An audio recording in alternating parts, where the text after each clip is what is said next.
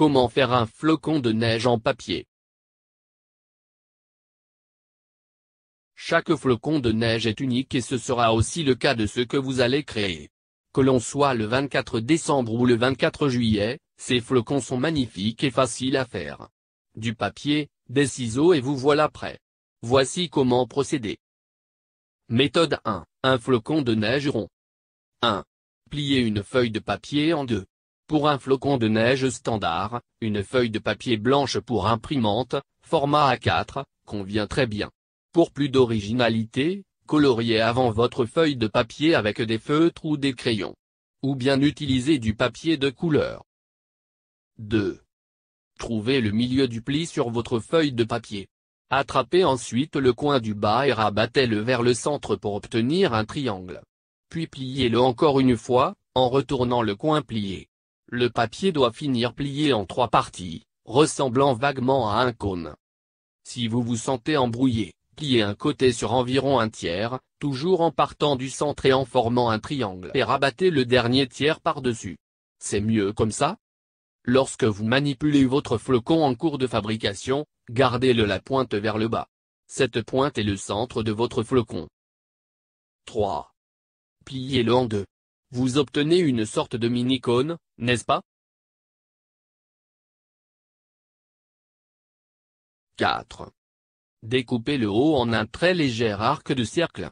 Découpez à travers toutes les épaisseurs, juste au niveau où s'arrête la couche du haut. C'est normalement très facile à repérer. Vous êtes maintenant prêt à créer votre flocon. 5. Commencez à découper. Le mieux est de commencer avec des motifs simples et d'aborder des motifs plus compliqués par la suite. Ou bien jetez-vous à l'eau. Plus les découpes seront petites, plus les détails de votre flocon seront fins. 6. Déplier le flocon. Il faut être patient à cette étape et prendre garde à ne pas le déchirer, mais en un instant vous aurez sous les yeux votre premier flocon à six côtés. Tada Au suivant. Méthode 2. Un flocon de neige anguleux. 1. Prenez une feuille de papier à quatre faites en un carré parfait en repliant un coin vers la face opposée, en diagonale. Une bande de 8,7 cm dépassera de la partie pliée. Découpez-la pour ne garder que le carré. À chaque étape de cette méthode, assurez-vous que vos plis sont nets et bien marqués. S'ils ne sont pas nets et symétriques, votre flocon risque d'être de travers. 2. Pliez le papier en deux, en triangle. C'est en fait le même pli qu'à l'étape précédente, il n'est mentionné qu'au cas où vous auriez déplié le papier pour le découper. Une fois qu'il est plié en deux, repliez-le encore une fois, pour former un triangle encore plus petit. À cette étape, vous pouvez essayer de le replier encore une fois pour créer une base différente, encore plus petite, pour votre flocon. Faites des expériences.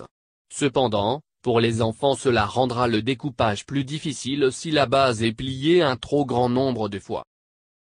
3. Commencez vos découpes, c'est là que ça devient intéressant. Avec un peu de créativité, vous pouvez obtenir un flocon avec des détails fins, sophistiqués et délicats, sinon, vous pouvez vous retrouver avec quelques fentes dans une feuille de papier. Découpez des courbes, des angles et des spirales pour tirer le meilleur parti de votre feuille de papier. Cela peut être pratique de tenir le flocon par son centre pendant que vous le découpez, le bout de la pointe. Cependant vous pouvez aussi le découper et votre flocon restera quand même en un seul morceau. Plus vous enlèverez de papier et plus votre flocon sera fragile et léger, ce qui n'est pas forcément une mauvaise chose. 4. Dépliez délicatement votre flocon. Si vous avez effectué de nombreuses découpes, le flocon peut se déchirer, faites attention. Si vos découpes sont très petites, parfois les différentes épaisseurs de papier peuvent rester collées entre elles. Si vos motifs ne vous plaisent pas, repliez le flocon et ajoutez quelques coups de ciseaux. Problème résolu.